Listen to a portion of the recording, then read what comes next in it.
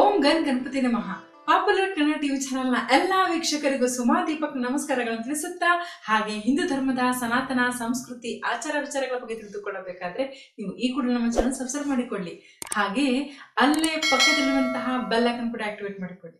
ವೀಕ್ಷಕರೇ, ಮನೆಗಳಲ್ಲಿ ಪ್ರತಿಯೊಂದು ಮನೆಗಳಲ್ಲೂ ಸಹ ಈ ಹಲ್ಲಿಗಳು ಓಡಾಟ ಇದ್ದೇ ಇರ್ತದೆ ಅಲ್ವಾ? ಖಂಡಿತ, ಸಹಜ. ಹಲ್ಲಿಗಳಿದ್ರೇನೆ ಅದು ಮನೆ ಒಂದು ರೀತಿಯಲ್ಲಿ ಒಂದು ಏನೋ ಒಂದರ ತುಂಬಿದೆ ಅಂತ ಹೇಳ್ಬೋದು, ಅಲ್ವಾ? ಹಾಗಾಗಿ ಹಲ್ಲಿಗಳು ಇರೋದು ಸಹಜ. ಆದರೆ ಹಲ್ಲಿಗಳು ಈ ಒಂದು ದೇವರ ಮನೆ, ದೇವರ ಕೋಣೆಯಲ್ಲಿ ಅಥವಾ ದೇವರ ಫೋಟೋ ಹಿಂಭಾಗದಲ್ಲಿ ಈ ರೀತಿ ಬಹಳವಾಗಿ ಓಡಾಡ್ತಾ ಇದ್ರೆ ಇದರ ಅರ್ಥ ಏನು ಏನು ಮುಂದೆ ಎಂಬುದನ್ನ ಈ ಒಂದು ವಿಡಿಯೋದಲ್ಲಿ ತಿಳಿಸ್ಕೊಡ್ತೇನೆ ಕಾರಣ ಈ ಒಂದು ಹಲ್ಲಿಗೆ ಯಾಕೆ ಇಷ್ಟೊಂದು ಪ್ರಾಮುಖ್ಯತೆ ಕೊಡ್ತಾ ಇದ್ದೇನೆ ಅಂತಂದ್ರೆ ಈ ಒಂದು ಹಲ್ಲಿ ಅದು ಶಕುನ, ಶಕುನದ ರೀತಿಯಲ್ಲಿ ತಿಳಿಸ್ತದೆ ಅಂತ ಹೇಳ್ತಾರೆ.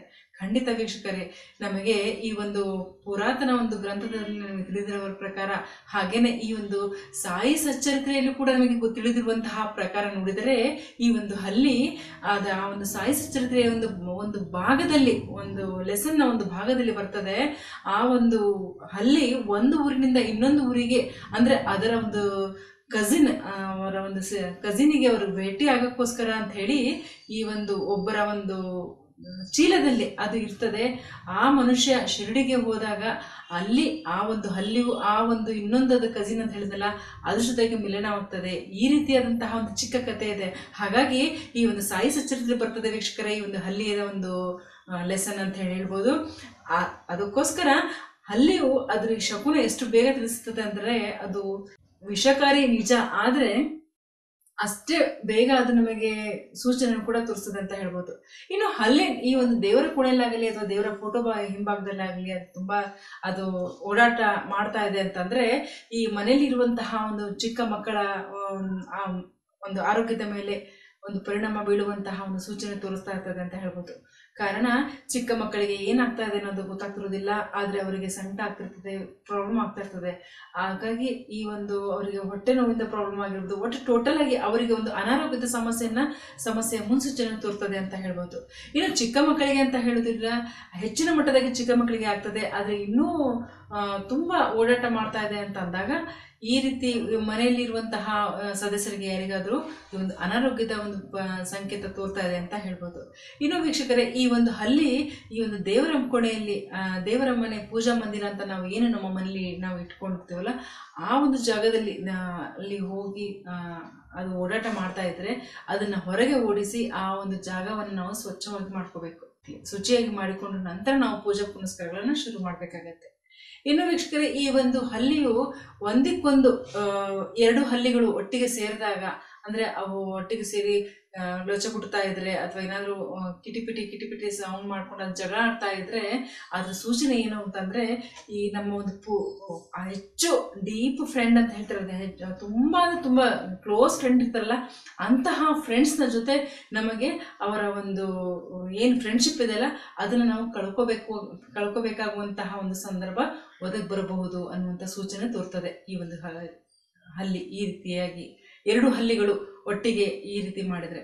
ಇನ್ನು ಈ ಒಂದು ಹಲ್ಲಿಯು ನಾವು ಯಾವುದಾದ್ರೂ ಒಂದು ವಿಷಯದಲ್ಲಿ ನಾವು ನಮ್ಮ ಮನೆಯ ಸದಸ್ಯರ ಕುಟುಂಬದ ಜೊತೆ ಕುತ್ಕೊಂಡು ಮಾತನಾಡುವಾಗಲಿ ಯಾವುದೋ ಒಂದು ಟಾಪಿಕ್ ವಿಷಯದ ಬಗ್ಗೆ ನಾವು ಡೀಪ್ ಆಗಿ ಡಿಸ್ಕಷನ್ ಮಾಡುತ್ತಿರುವಾಗ, ಒಂದು ಇಂಪಾರ್ಟೆಂಟ್ ವಿಷಯದ ಬಗ್ಗೆ ಡಿಸ್ಕಷನ್ ಮಾಡುತ್ತಿರುವಾಗ, ಅಂತಹ ಸಮಯದಲ್ಲಿ ಏನಾದರೂ ಈ ಹಲ್ಲಿ ನಮಗೆ ಗೊತ್ತಿಲ್ಲದೆ ಯಾವುದೋ ಒಂದು ಗೋಡೆಯ ಮೇಲೆ ಈ ದೇವರ ಮನೆ ಅಂತಾನೆ ಹೇಳೋದಿಲ್ಲ. ಇನ್ನು ಯಾವುದೋ ಒಟ್ಟು ಟೋಟಲ್ ಆಗಿ ಅದರ ಒಂದು ಲೊಚ್ಚುಗುಟ್ಟುವಿಕೆ ಇದೆಯಲ್ಲ, ಲೊಚ್ಚು ಲೊಚ್ಚು ಅಂತ ಲೊಚ್ಚುಗುಟ್ಟುವಿಕೆ ಇದೆಯಲ್ಲ, ಆ ಲೊಚ್ಚುಗುಟ್ಟುವಿಕೆ ನಮ್ಮ ಕಿವಿಗೆ ನಾವು ಮಾತನಾಡುವಾಗ ಇಂಪಾರ್ಟೆಂಟ್ ಆಗಿ ಮಾತನಾಡುವಂತಹ ಒಂದು ವಿಷಯದಲ್ಲಿ ಈ ರೀತಿಯಾದಂತಹ ಶಬ್ದವು ನಮಗೆ ಕೇಳಿ ಬಂದರೆ ಅದು ಖಂಡಿತ ಅದು ಆಗುತ್ತೆ ಅನ್ನುವಂತಹ ಒಂದು ಶಕುನ ಇದೆ ವೀಕ್ಷಕರೇ.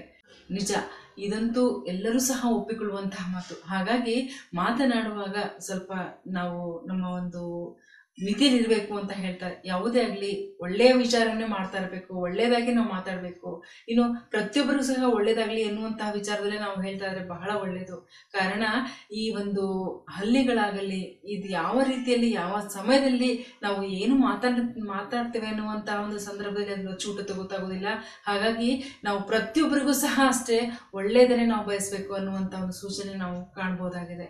ಈ ನಾವು ಒಳ್ಳೆಯದನ್ನ ಸು, ಬಯಸ್ತಾ ಇದ್ರೆ ಯಾವುದೇ ಒಂದು ಸಂದರ್ಭ ಸಂದರ್ಭದಲ್ಲಿ ಆ ಒಂದು ಹಲ್ಲಿಯು ರೊಚ್ಚಿಬಿಟ್ರೂ ಪರವಾಗಿಲ್ಲ. ಅದು ಒಳ್ಳೇದಾಗತ್ತೆ ಅನ್ನುವಂಥ ಒಂದು ಸೂಚನೆ ನಾವು ಕಾಣ್ಬೋದಲ್ವಾ? ಖಂಡಿತ. ಹಾಗಾಗಿ ವೀಕ್ಷಕರೇ, ಆದಷ್ಟು ಹೆಚ್ಚಿನದಾಗಿ ನಮ್ಮ ಶತ್ರುಗಳನ್ನು ಸಹ ನಾವು ಮಿತ್ರಗಳ ರೂಪದಲ್ಲಿ ನಾವು ಅವರನ್ನು, ಅವರ ಒಂದು, ಏನೇ ಒಂದು ಅವರ ಒಂದು ಕೆಟ್ಟ ವಿಚಾರ ಇದ್ರೂ ಕೂಡ ಅದು ಅವರಿಗೆ ಇರಲಿ ಅಂತ ಹೇಳಿ ನಾವು ನಮ್ಮ ಮನಸ್ಸು ಪೂರ್ವಕವಾಗಿ ನಾವು ಒಳ್ಳೆಯದನ್ನು ಮಾಡ್ತಾ ಹೋದರೆ ಖಂಡಿತ ಭಗವಂತನ ಕೂಡ ನಮಗೆ ಕೈ ಬಿಡೋದಿಲ್ಲ.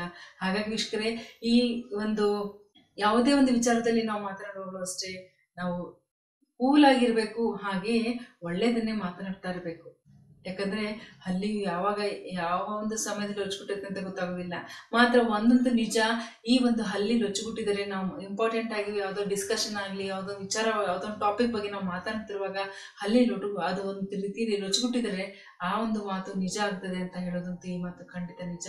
ಹಾಗಾಗಿ ಈ ಒಂದು ಹಲ್ಲಿಯು ಆದಷ್ಟು ನಾವು ಹೊರಗೆ ಅದನ್ನು ಹೊರಗೆ ಹಾಕಿದ್ರೆ ಬಹಳ ಒಳ್ಳೆಯದು ಆದರೆ ಏನೂ ಮಾಡ್ಲಿಕ್ಕೆ ಬರೋದಿಲ್ಲ. ಹಲ್ಲಿ ಹೇಗೆ ಬರ್ತದೆ ಅನ್ನೋದು ಗೊತ್ತಾಗೋದಿಲ್ಲ. ಇನ್ನು ಕೆಲವೊಂದು ಸಮಯದಲ್ಲಿ ಹಲ್ಲಿಗಳು ಇದ್ರೂ ಕೂಡ ಒಳ್ಳೆಯದು ಅಂತ ಹೇಳ್ತಿರ್ತಾರೆ. ಅದು ಸಹ ನಿಜಾನೇ ಇಲ್ಲ ಅನ್ನೋದಿಲ್ಲ.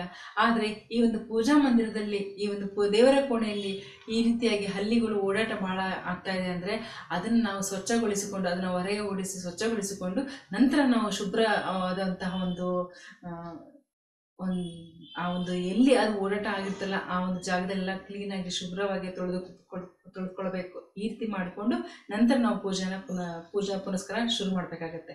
ಇನ್ನು ದೇವರ ಫೋಟೋ ಹಿಂಭಾಗದಲ್ಲಿ ನಾವು ಮೇಲ್ಗಡೆ, ನಮ್ಮ ಮನೆಯ ಗೋಡೆ ಮೇಲ್ಭಾಗದಲ್ಲಿ ದೇವ್ರ ಫೋಟೋ ಹಾಕಿದ್ದೀವಿ. ಅಲ್ಲಿ ಅದು ನಮಗೆ ಸ್ವಚ್ಛ ಮಾಡ್ಲಿಕ್ಕೆ ಆಗೋದಿಲ್ಲ ಕ್ಲೀನ್ ಮಾಡ್ಲಿಕ್ಕೆ ಆಗೋದಿಲ್ಲ ಅಂತ ಹೇಳಿದ್ರೆ ಪರವಾಗಿಲ್ಲ. ಅಂತಹ ಒಂದು ಜಾಗದಲ್ಲಿ ಇದ್ರೆ, ಅಂದ್ರೆ ಈ ರೀತಿಯಾದಂತಹ ಒಂದು ಅನಾರೋಗ್ಯದ ಒಂದು ಸಮಸ್ಯೆ ಕಾಣ್ತದೆ ಅಂತ ಒಂದು ಸೂಚನೆ ತೋರ್ಬರ್ತದೆ ವೀಕ್ಷಕರೇ.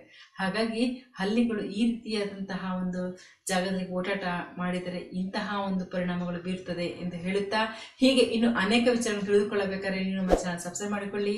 ಹಾಗೆ ಅಲ್ಲೇ ಪಕ್ಕದಲ್ಲಿರುವಂತಹ ಬೆಲ್ಲೈಕನ್ ಕೂಡ ಆಕ್ಟಿವ್ ಮಾಡಿಕೊಳ್ಳಿ. ಎಲ್ಲರಿಗೂ ಒಳ್ಳೆಯದಾಗಲಿ ವೀಕ್ಷಕರೇ. ಧನ್ಯವಾದಗಳು.